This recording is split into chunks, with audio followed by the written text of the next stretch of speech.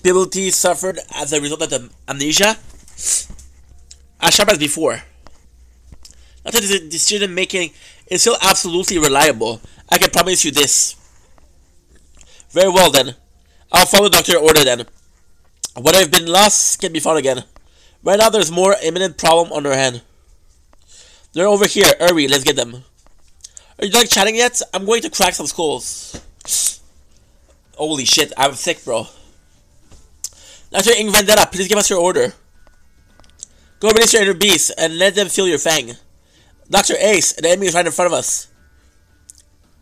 See the opportunity to disrupt the enemy plan. So, Dimitri, back up Doberman. Shit.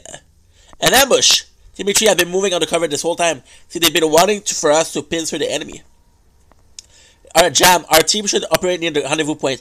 That way, even if something happened to me or the scouts, the broader operation can still be carried out. My decision making. In other words, Ace, you left your team back at the rendezvous point and came here alone. After all, neutralizing threat around the rendezvous point are, is our top objective. Of course, prioritizing checking on your status is a big risk. There's no way I could inherit imperil the entire team. The whole reason team exists to increase actual efficiency, not the other way around. Ah, let's continue the discussion after we've taken care of Reunion. Amiya, you're up. Understood. I'll back you up with my arts. Finally, Dr. Ink Vendetta, please come in Rhode Island.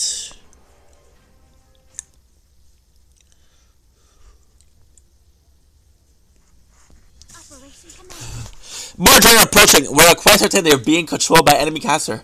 Seems that we're seen by Chernobog army and modified afterward. The fact that there are so many drones being deployed means that it's no ordinary riot. They keep prepared. Remember to deploy sniper prepared to deal with the drones.